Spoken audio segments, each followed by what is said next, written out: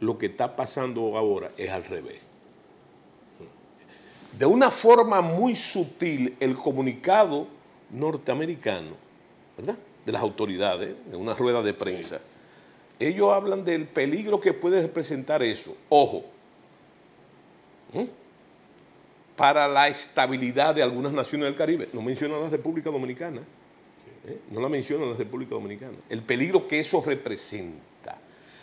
¿Qué quiere decir eso? Que tampoco las bandas, como yo he dicho en otras ocasiones, están contenidas.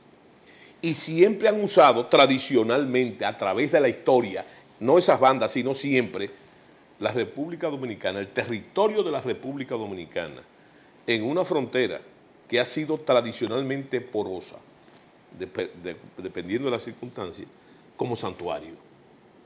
Operan en Haití y usan el territorio dominicano. Pero yo estoy hablando de tiempos inmemoriales, tan inmemoriales como Viazó, el gran jefe eh, haitiano de la independencia. Entonces, en la guerra intercolonial. Entonces, yo lo que te digo a ti es que según la prensa, lo que yo he visto en la prensa, ojo, no hay informaciones de inteligencia que a nosotros le están dando. no, no, no, lo que yo veo en la prensa. Lo que ellos mismos están diciendo. No, no, no, lo que yo veo en la prensa de aquí. ¿Por qué ha pasado desapercibido?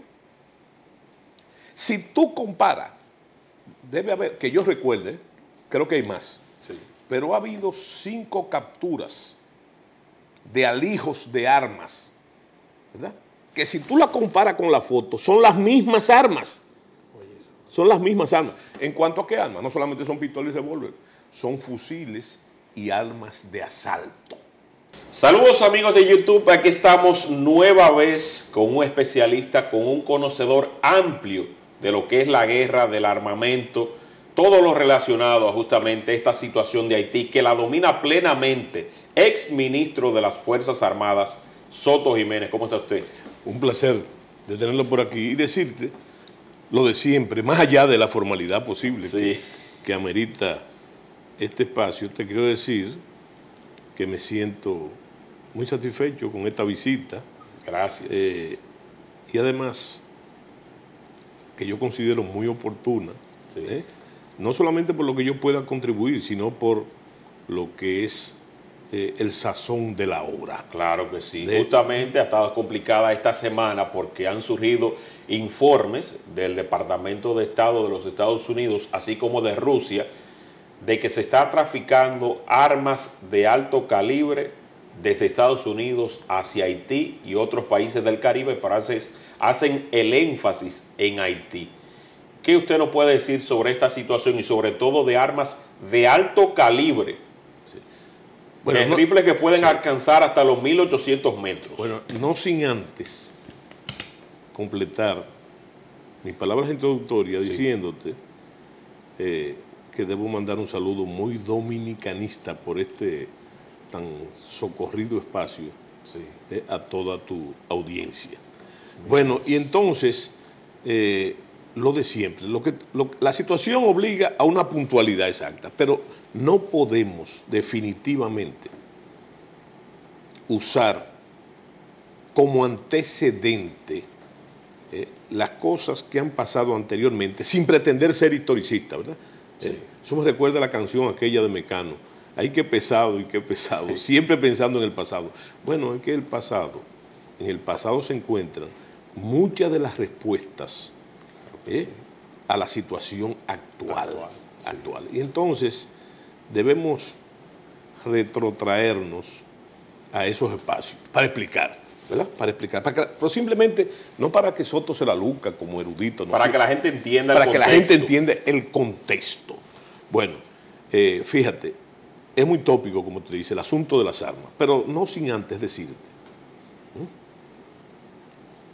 que en Haití siempre, durante todo, toda su historia, ha existido un fenómeno importante que son, eso que se llaman las bandas, eso no es nuevo, eso siempre hay una propensión a lo que podemos llamar las fuerzas paramilitares, con hechos muy concretos, para no irnos más para atrás, ¿verdad?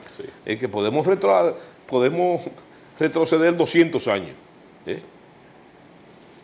sino en la actualidad, en la contemporaneidad relativa. Por ejemplo, eh, a nadie hay que presentarle lo que fueron los Totón Macú.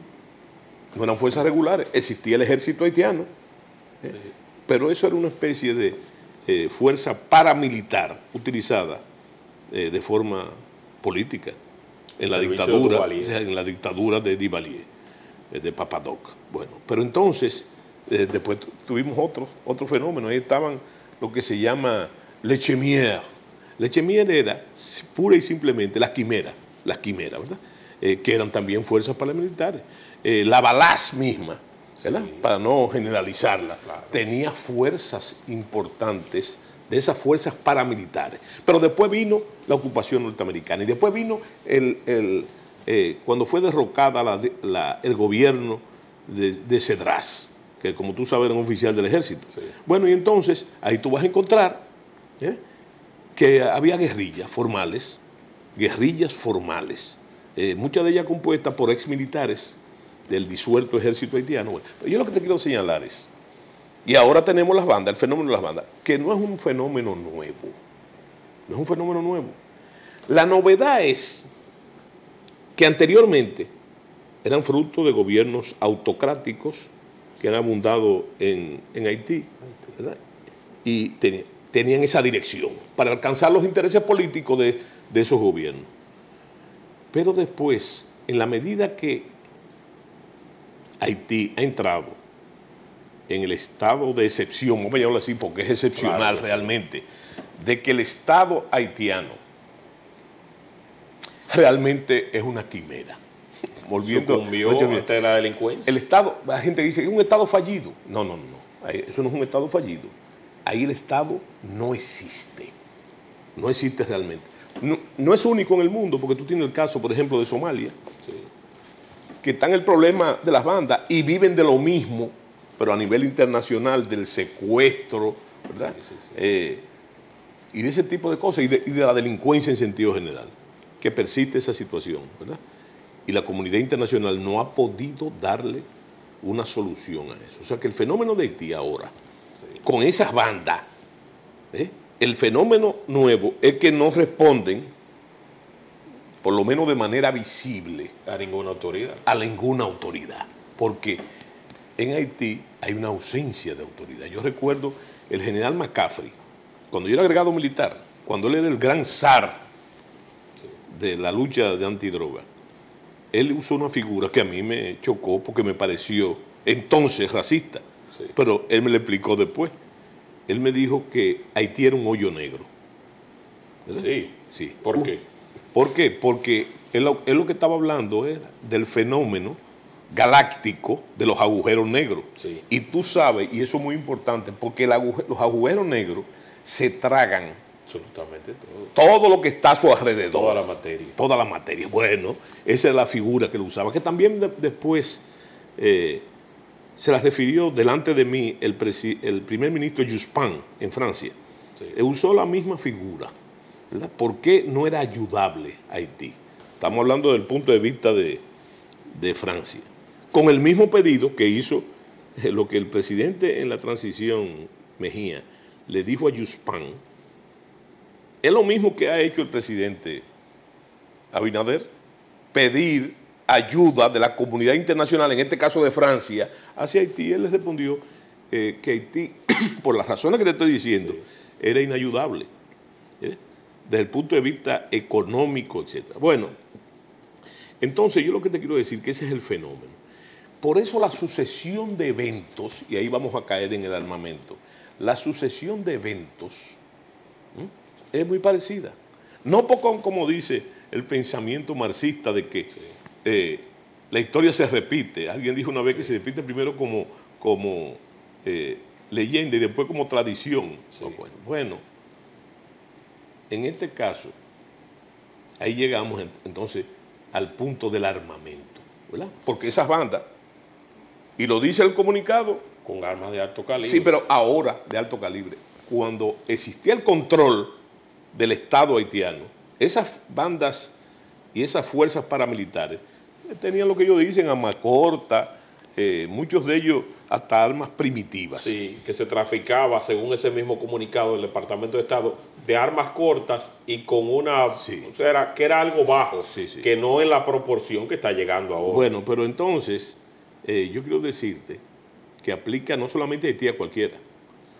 Uno de los elementos que atentan contra el monopolio legal de la violencia en los regímenes democráticos, uno de los síntomas fundamentales que pasó aquí hace ya 40 años o 30 años, era el alto índice del armamentismo.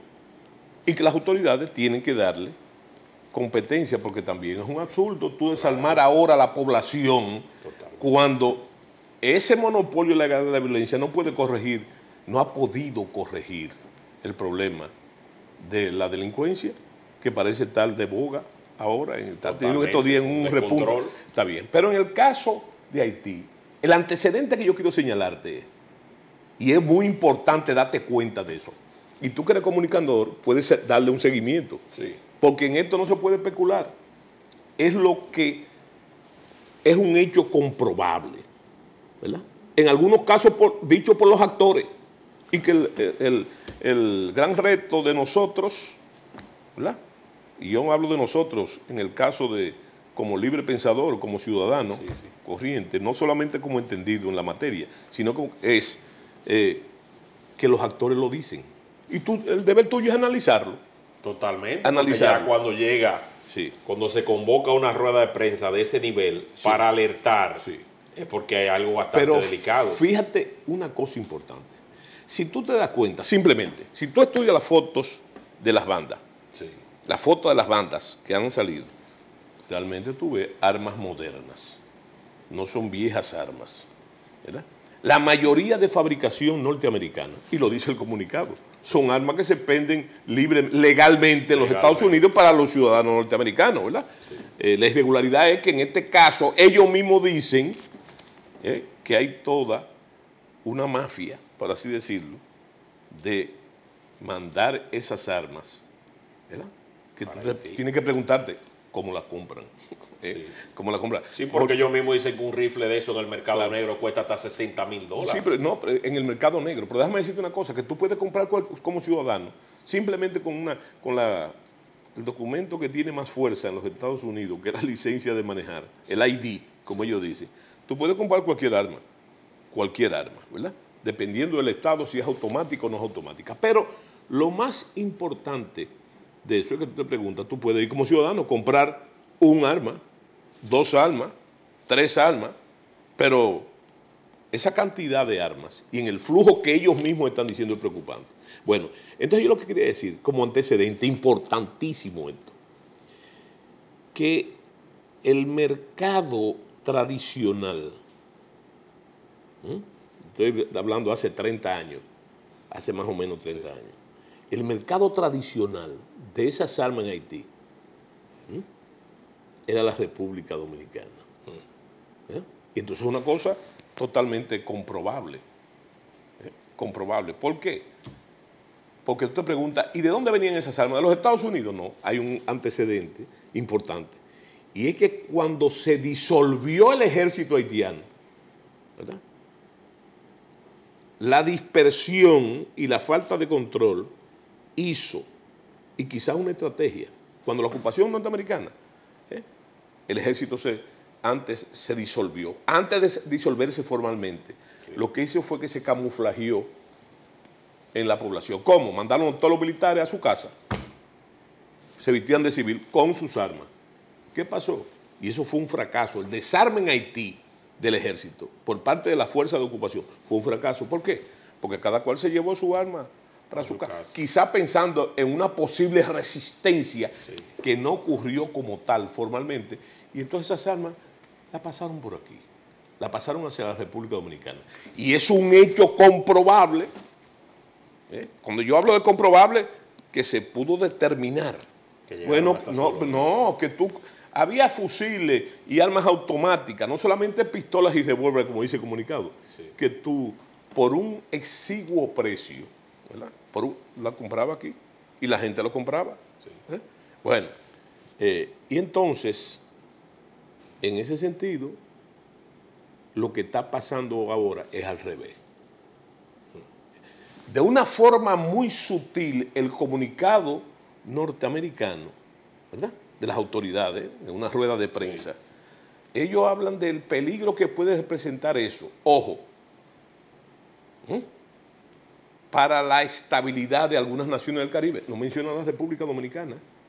¿eh? No la mencionan la República Dominicana. El peligro que eso representa. ¿Qué quiere decir eso? Que tampoco las bandas, como yo he dicho en otras ocasiones, están contenidas.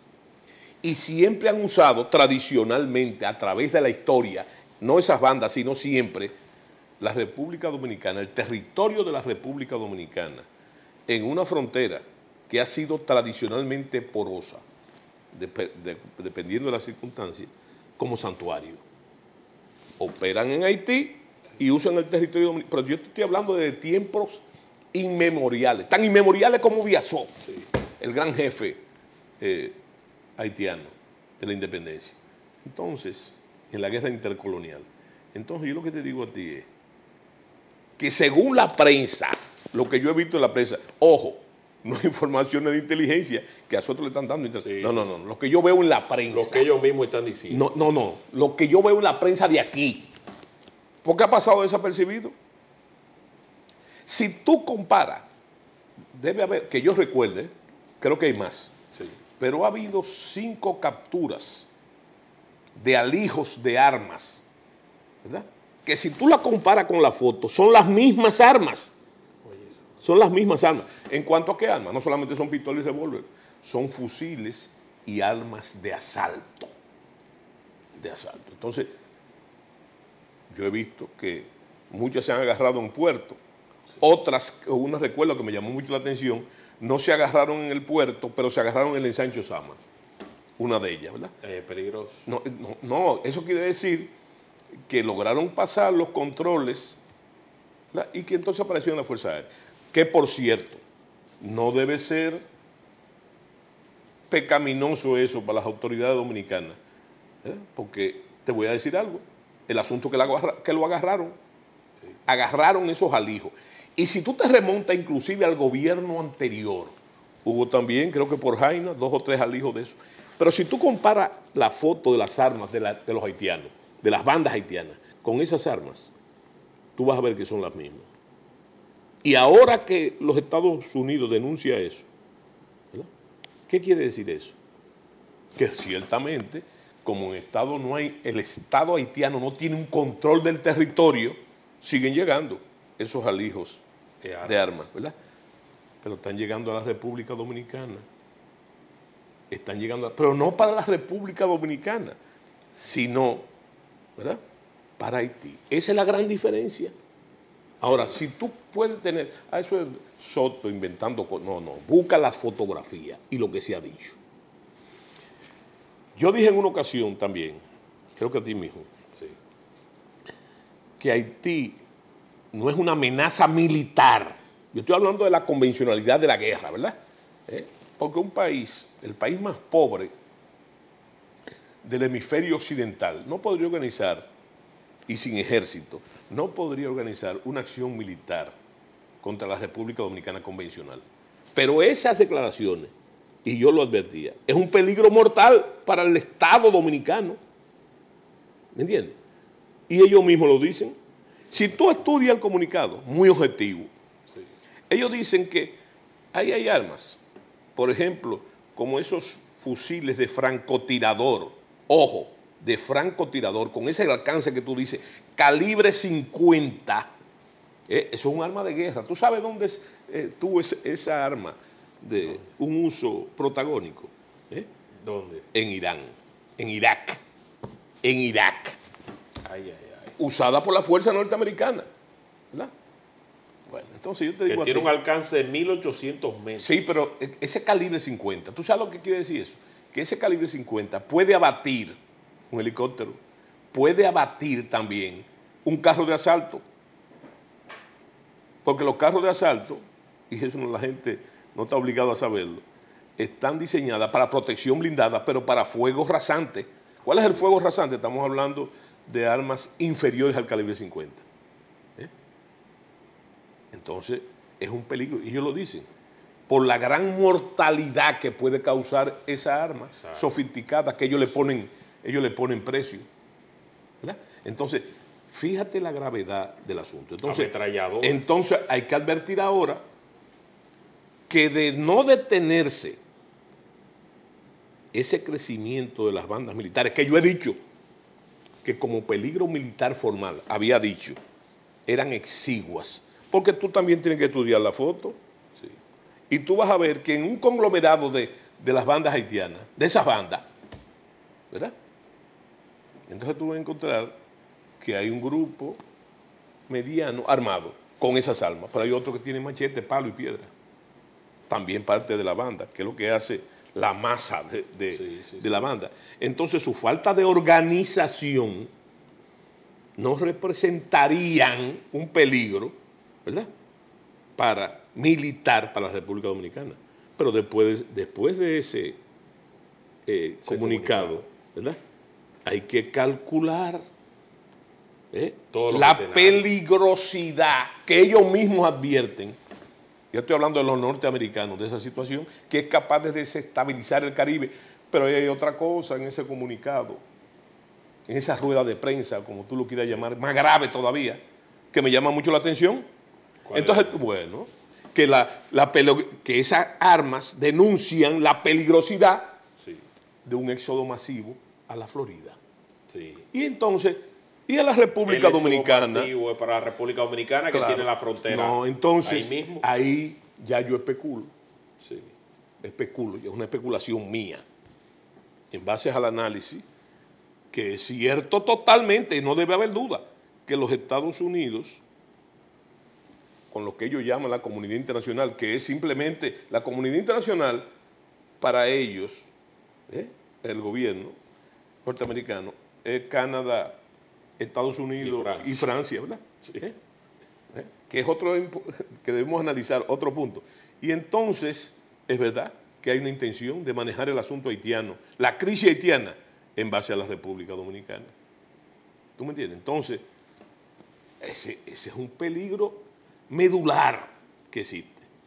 Pero también, volviendo al pasado cercano, y eso tiene que ver con eh, el gobierno de Hipólito Mejía y el ministro de las Fuerzas Armadas, en esa época, secretario de las Fuerzas Armadas, Soto Jiménez, que esa situación, no con esas bandas, sino con las llamadas guerrillas, ocurrió ya. Y el ejército dominicano, básicamente menciono al ejército dominicano, le dio respuesta efectiva. ¿Tú sabes cómo? Que cuando esas guerrillas querían utilizar el territorio dominicano como santuario para protegerse de los mismos norteamericanos, nosotros lo hicimos prisionero y lo desarmamos. Las Fuerzas Armadas Dominicanas, Dominicana. que son cosas que se olvidan. Sí.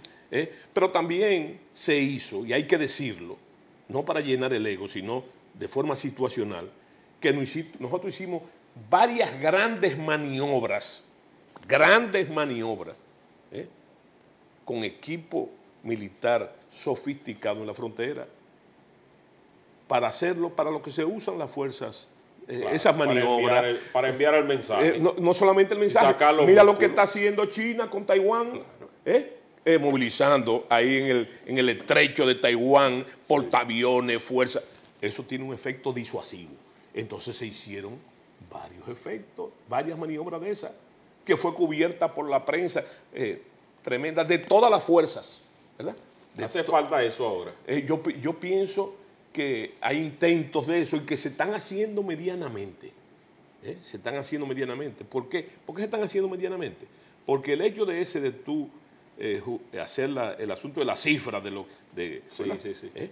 pero en este caso fue un efecto en el caso anterior fue un efecto disuasivo que tuvo sus grandes ventajas no solamente en la disuasión sino que se corrigieron los males que esas guerrillas hacían en el secuestro de ganaderos dominicanos y de ganaderos en la frontera, ¿verdad?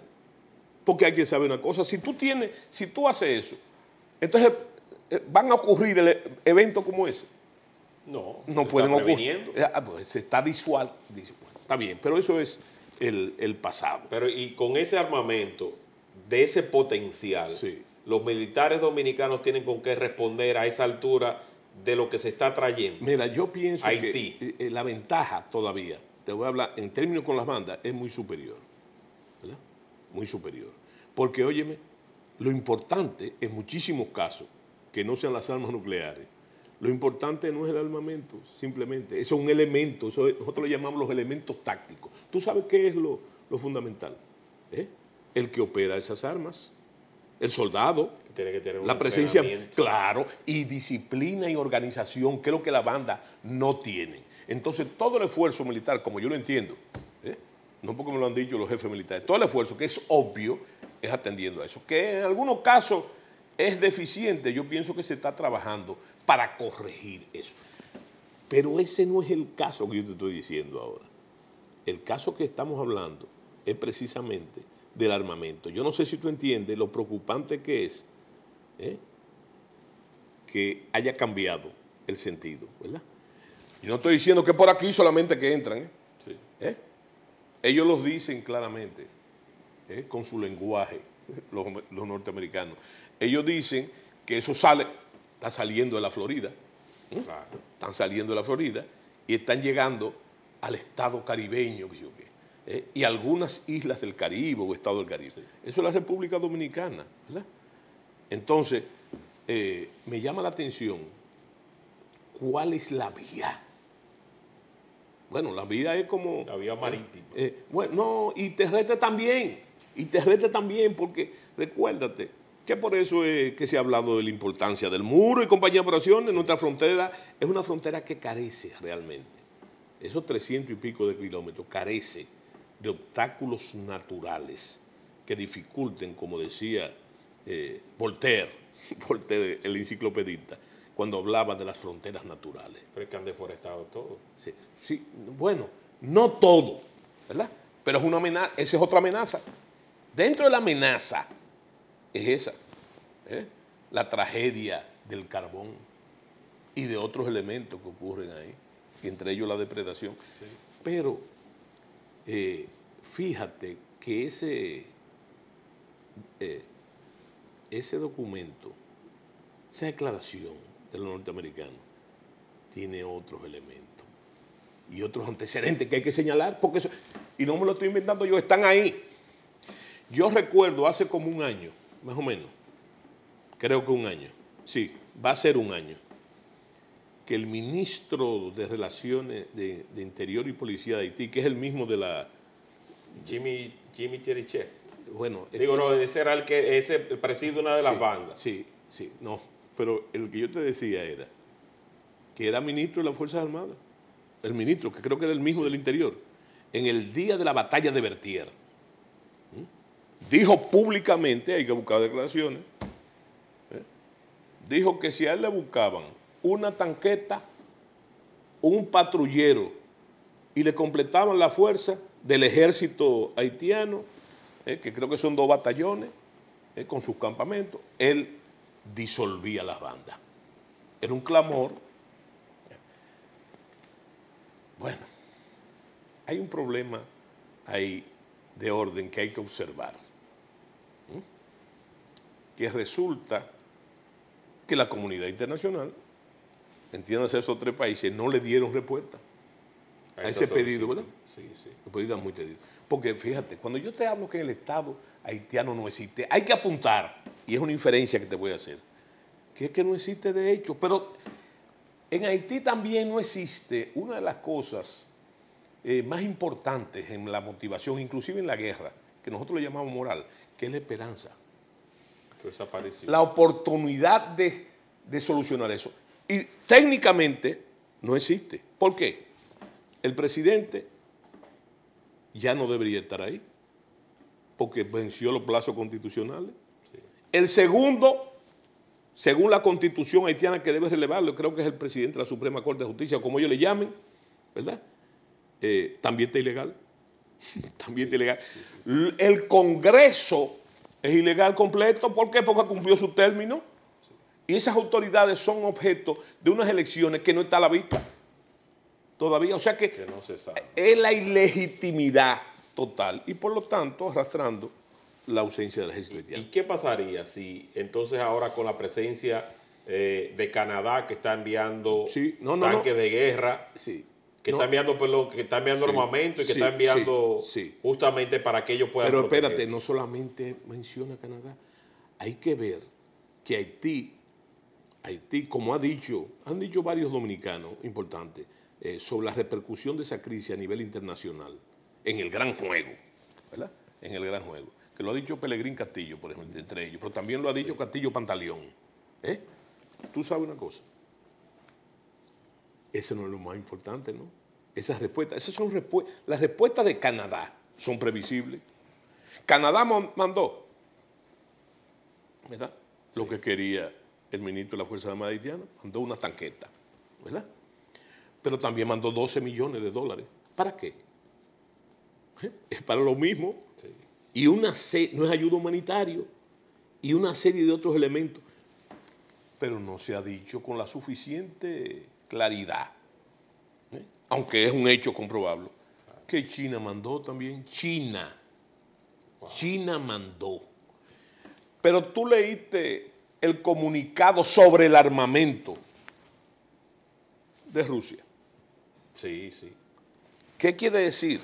Que más que lo que está pasando ahí, vamos a llamarle por manía institucional, eh, tácticamente, eh, hay un, un gran juego estratégico en Haití, en la región, que yo siempre digo y no me canso de repetir que si el Caribe insular es una frontera imperial, como se ha dicho, la isla de Santo Domingo es el centro geográfico del Caribe insular y por lo tanto de esa frontera. Entonces, el- la mesa de ajedrez geoestratégica se está jugando apretada en Haití.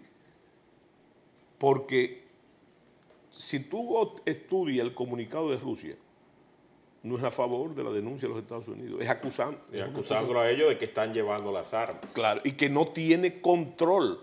Y que está desautorizado para ejercer justamente el control. Sí. Entonces, China, Que no es un garante de estabilidad, China ellos. que es más objetiva políticamente hablando, ¿verdad? China manda equipo, pero no manda ayuda humanitaria, manda equipo militar, ¿verdad?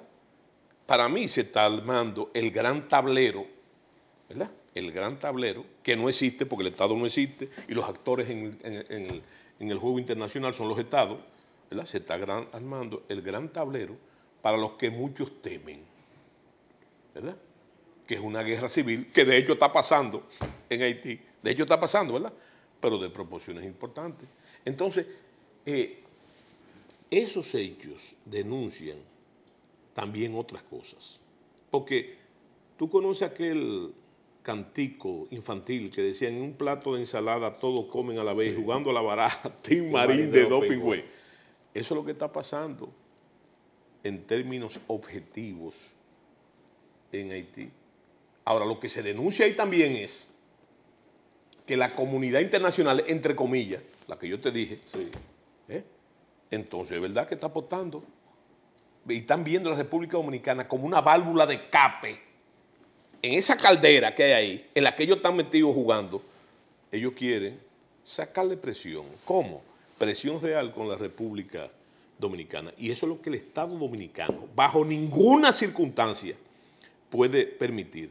Porque de hecho nos, met- nos está- estamos permitiendo que eso nos mete el problema dentro Totalmente. aún en esa guerra civil, como ha pasado, como ha pasado.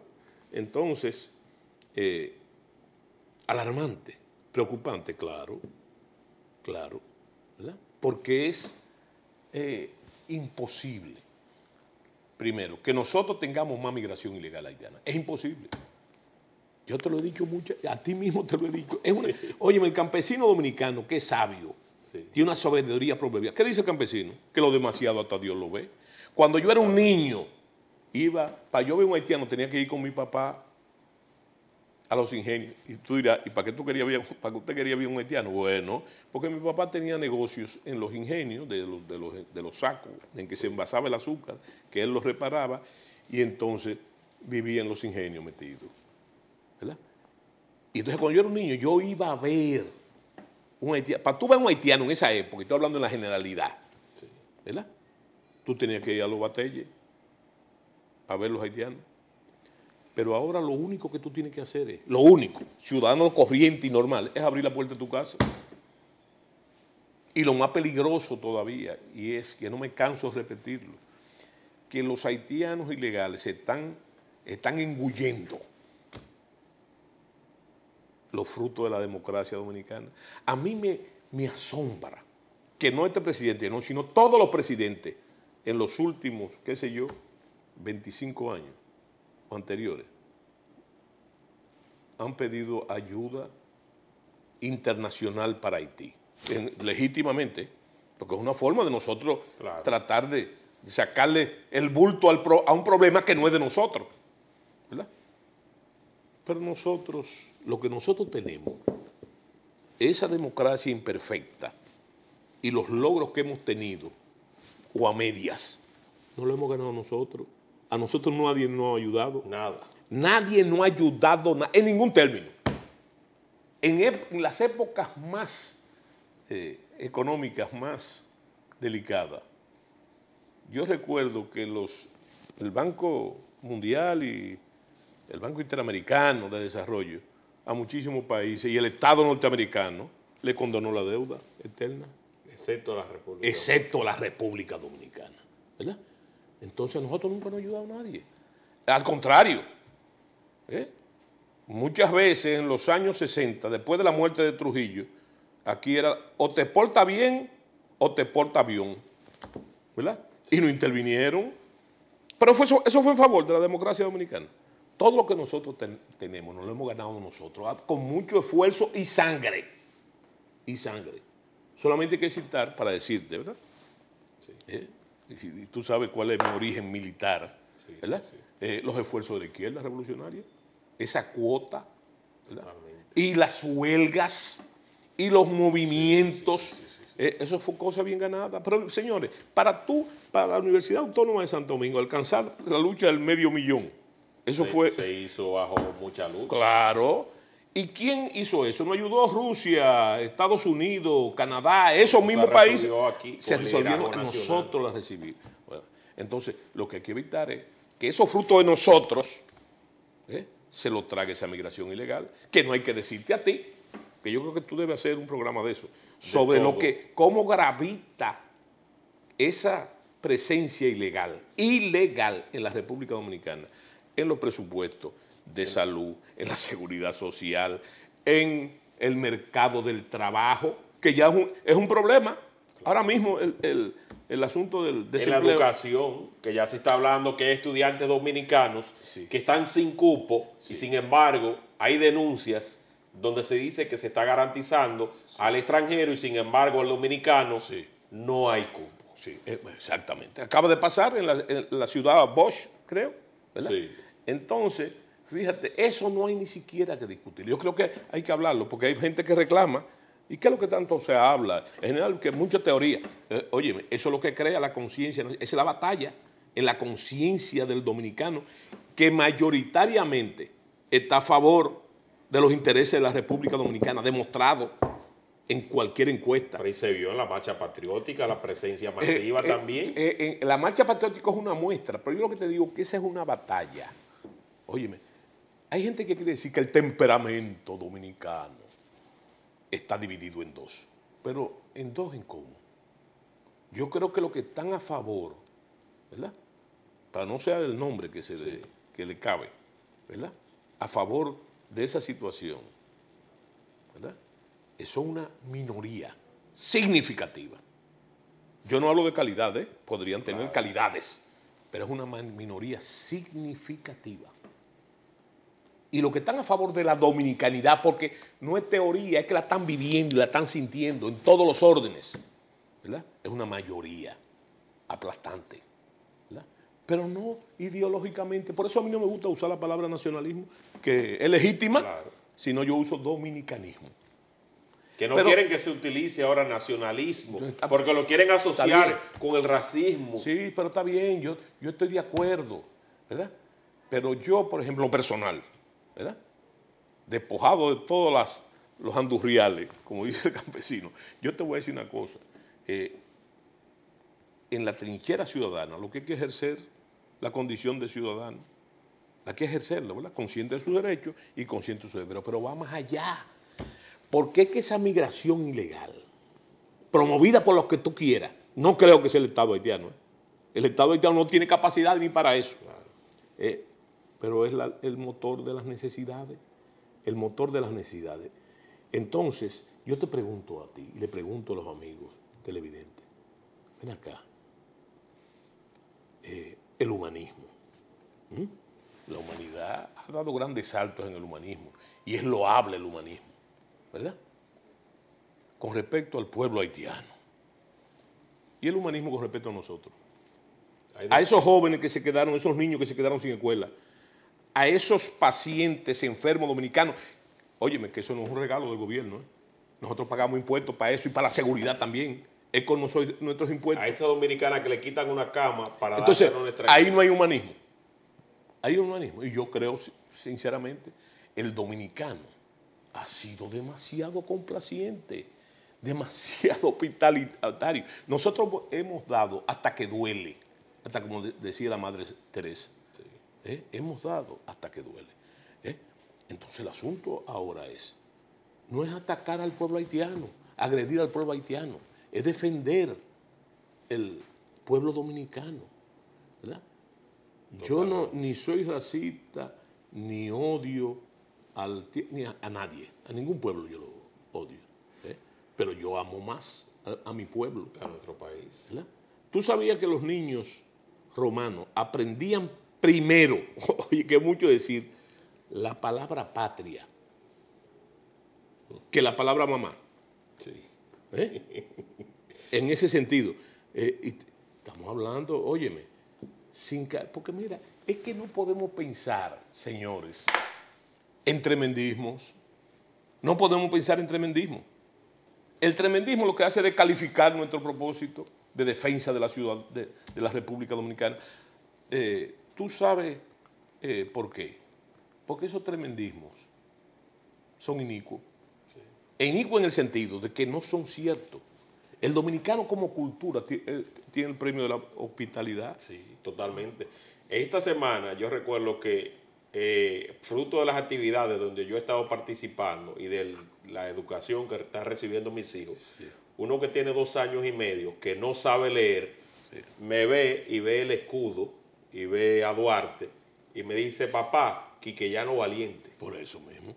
Sin saber leer. Sí, es que la fuerza. Quiqueyano valiente, papá. Esa es la fuerza, la fuerza que yo digo. Tú sabes que se discute mucho entre los académicos eh, el problema de la identidad nacional, que es un conjunto de factores, ¿verdad? Entre lo que está el territorio, la cultura. Yo digo que el principal, la geografía, el principal elemento de la identidad nacional es la cultura la cultura dominicana. Y entonces un elemento fundamental dentro de esa cultura es ese, el amor a la nación. No lo trates de singularizar con una serie de elementos, no es el amor a la nación. Y eso está en la historia, que es otro elemento de la identidad nacional. Tener una historia común que nos involucra a todos. Entonces, como tú dices, lo que se está tratando es de desvirtuar la herencia la herencia de esa cultura. Mira lo que pasó con, ese, con el hijo tuyo, ¿verdad? Pero es así. ¿eh? Como dice el himno, es, que es el templo de amor cada pecho.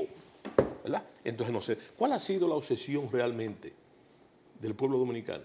El elemento más persistente ¿eh? es la lucha por la libertad. Fundamentalmente, o interna o eterna, como tú quieras. Es la lucha por la libertad. Y en base a eso ha pagado grandes precios en su heroísmo permanente. El heroísmo dominicano es precisamente, precisamente ese heroísmo dominicano.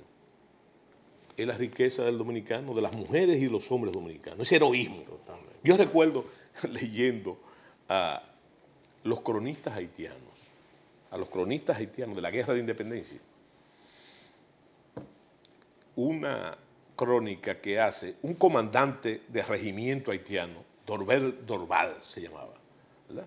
Entonces él viene avanzando desde Asua, camino a la capital, y como se dio la batalla del 19 de marzo, ellas vadearon la resistencia y las lomas del número yéndose por Ocoa. ¿verdad? Y entonces él va, él es comandante del regimiento, y él se pregunta en un momento, para que tú veas la fuerza de esa identidad, se pregunta, pero ven acá, ¿y qué le hemos hecho nosotros a esta gente? ¿Tú sabes por qué? Él lo dice, que en las trincheras dominicanas, y cuando él habla de trincheras está hablando de los desfiladeros, ¿verdad? ¿Eh? Del Memiso, él va ahí, del Isleta y el Pinar. Y cuando él va ahí, dice, óyeme, ¿qué le hemos hecho nosotros a esta gente? Porque en las trincheras están llenas de mujeres y niños voceándonos insultos y tirándonos piedra y palo. ¿Eh? A los soldados. Esa es la dominicanidad. ¿verdad? La dominicanidad viva en acciones concretas, no en idealismo. Entonces, el gran pedimento que nos extraviamos, nos digregamos, es que no hay tremendismo. Simplemente, tú dirás, mucha gente da todo por perdido. Otros eh, son pesimistas. Yo soy optimista. Y simplemente soy optimista no solamente porque conozco las Fuerzas Armadas Dominicanas, sino que conozco el pueblo dominicano de donde emana la Fuerza Armada. Entonces, no hay tremendismo. ¿Tú sabes lo único que hay que hacer? ¿Eh? El cumplimiento de la ley no es apelando a antecedentes indeseados e indeseables del pasado. Señor, el cumplimiento de la ley, el cumplimiento de la ley. Y es importante hacer conciencia, muy importante, a las autoridades, que si usted estudia la historia dominicana, el pueblo dominicano aguanta de todo. Lo ha demostrado. Aguanta de todo. Pero el pueblo dominicano aguanta de todo hasta un día. Ese es el día que yo le llamo el día menos pensado, el día de, de la... Y es más, ¿verdad? Entonces yo creo, por ese sentimiento, mira, mira a tu niño. ¿eh? ¿Tú sabes lo que significa eso? Que las autoridades están obligadas a darle una respuesta legal a ese problema, ¿eh?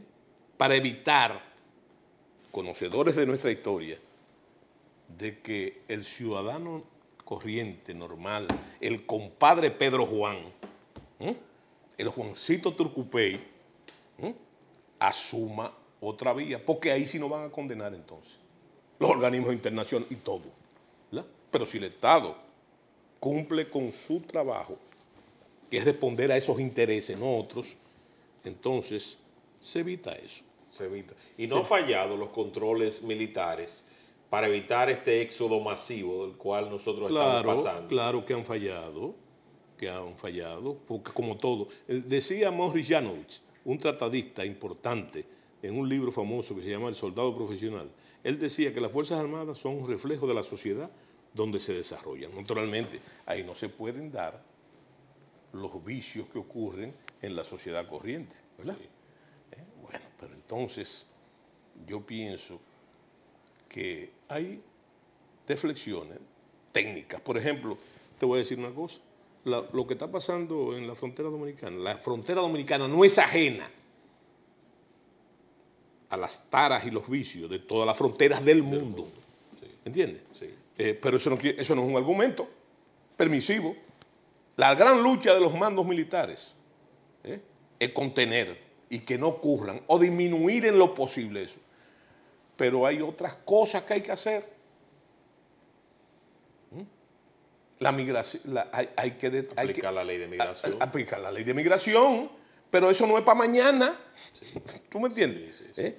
Porque tú ves, yo leí con, con gran satisfacción que se va a hacer un censo. Gran oportunidad para contar lo que no se cuentan. Sí, ¿Me entiendes? totalmente. Que si se hace con premeditación y alevosía, digo yo, Sí, ¿verdad? sí. entonces tú vas a ver cuántos ilegales tenemos. Pero fíjate, el problema no es tan solo que haya porosidad en la frontera, que haya corrupción en la frontera, que haya vicios eh, en la frontera. Ese no es el problema básico.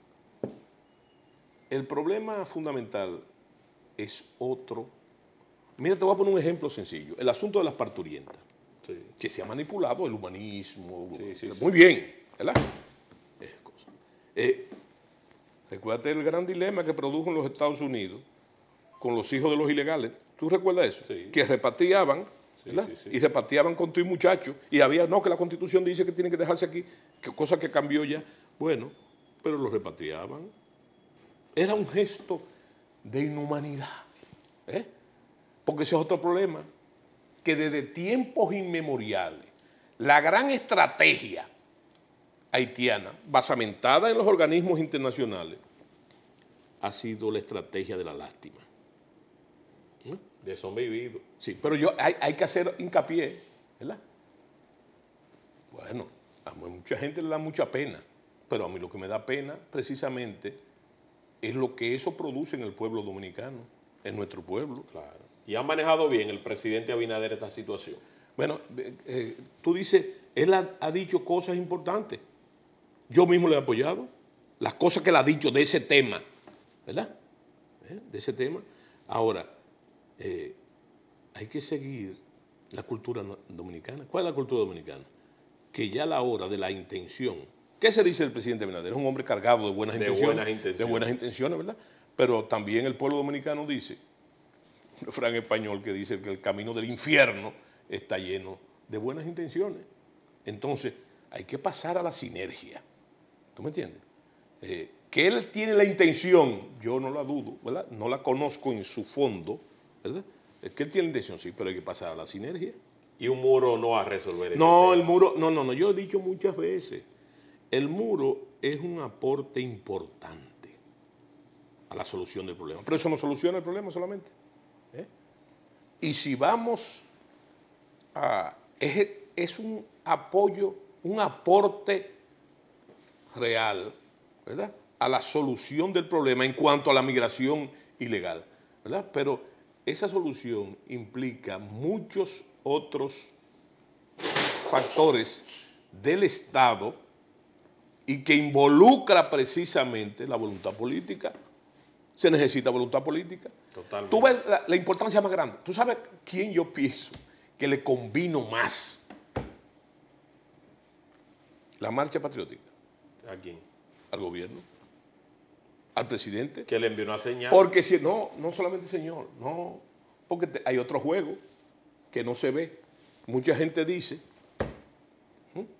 y hay gente que dice, que refiere Sí.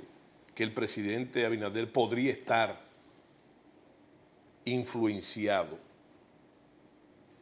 por la presión extranjera. ¿Mm? ¿Entiendes? Entonces, es una forma de decirle a esos que están apostando desde fuera que hay solución dominicana para el problema haitiano, decirle lo que piensa la gente. Totalmente. Le puede decirle en sus interioridades, ¿verdad? Claro Pero no sí. soy yo, mire lo que está pasando. Ahí viene una marcha en Santiago. Que voy para allá también. Sí. ¿Tú sabes cuál es el elemento fundamental de esa marcha? Porque todos conocemos el mecanismo de la marcha, todo, todo el mundo lo conoce, por, por lo menos partidariamente. Ahí se barajan el, el picapollo, la que qué, pero ahí no hubo nada de eso. Absolutamente Ah, nada. Espontaneidad absoluta. propio. Bueno, y tú quieres ver, para los que hablan de la marcha, ¿qué que te diga una cosa? Lo que yo vi, lo que yo vi en esa marcha, yo vi la riqueza, la potencia de la diversidad Totalmente de acuerdo. de la diversidad, porque ahí había una serie de personas de los más diferentes estratos sociales, Sí mismo.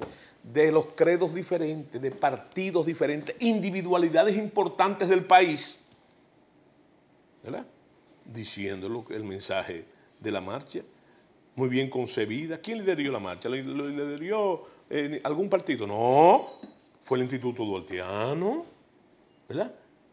Y entonces, fíjate lo que eso produjo, lo que produjo. Pero mira las repercusiones. Se expresó el Washington Post. La ONU tuvo que pronunciar. La ONU tuvo que pronunciar, hasta el Papa Sí. tuvo que. No quiero decir que a favor o no, pero tuvieron que ver. O sea, ¿cuál era el objeto de la marcha? Que se viera, Se vio ¿verdad? totalmente. Que se vio tal vez. Yo, lo- yo utilizo algo un tanto poético.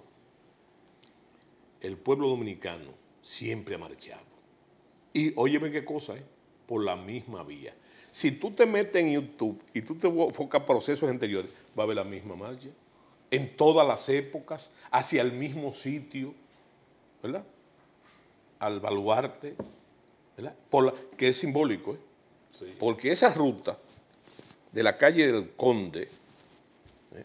en honor al Conde de Peñalma, es la misma fruto que se usaba para transitar la fuerza desde la fortaleza Osama hacia la puerta del hasta aquí. ¿verdad? Anteriormente, entonces esas marchas iban a dar la queja.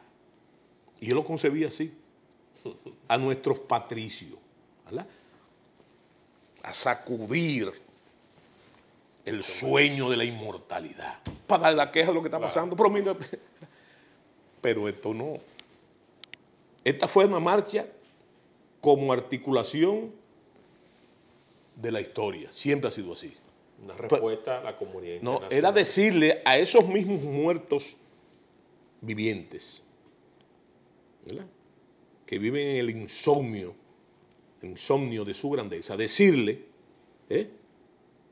miren, aquí está lo que ustedes dejaron, miren la semilla aquí, no es darle queja, nosotros estamos imbuidos, le dijo la marcha, ¿verdad? De los ideales, ¿verdad? Que nos dieron patria. Eso es simplemente. Ya una última pregunta, porque sé que usted tiene otro compromiso. Sí. ¿Usted no, usted no le gustaría aprovechar este momento donde la población dominicana está reclamando justamente una autoridad que enfrente esta situación como se debe enfrentar, con la valentía que se debe enfrentar y con la gallardía que se debe enfrentar para defender nuestra soberanía? ¿En qué está su proyecto? Eh, eh, pero, tú lo acabas de decir. Tú lo acabas de decir. Lo que tú dijiste es exactamente mi mensaje. Entonces, sí quiero decirle, mira, sobre eso que tú hablaste de la política, yo te voy a decir algo. Por mucho tiempo se pensó que ese tema de la nacionalidad, el tema haitiano, iba a ser un tema importante en la política. Y yo estoy convencido de que en las próximas elecciones, ese tema que ni siquiera se menciona, ¿verdad? Será determinante. Será determinante. Será determinante porque las uvas están maduras para eso, ¿verdad? Y sobre todo por la necesidad del pueblo de elegir una voluntad política, como tú has dicho, ¿verdad? y yo repito, ¿verdad? una voluntad política que eh, sirva a los grandes intereses nacionales, ¿verdad? Eh, en el cúmulo de todos los grandes problemas, yo pienso que nosotros tenemos graves problemas, ¿verdad? Y que las propuestas deben ser en base a eso. Eh, de forma artificiosa te está omitiendo el pueblo haitiano. Tú hablas de qué?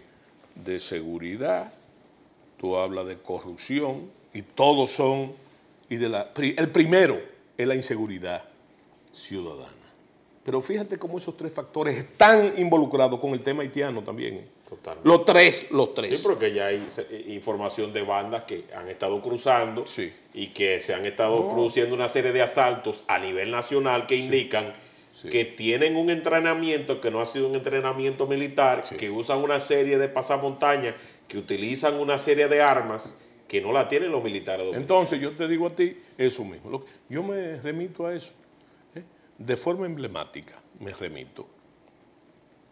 Yo pienso que hay que participar en la construcción de esa voluntad política, ¿verdad? Eh, yo como ciudadano, que mi tema ahora mismo con Quinta República, ¿cuál es? Frontera, migración haitiana y soberanía. Ese es mi tema. ¿Eh? Por ahora es mi tema, ¿verdad? Sí.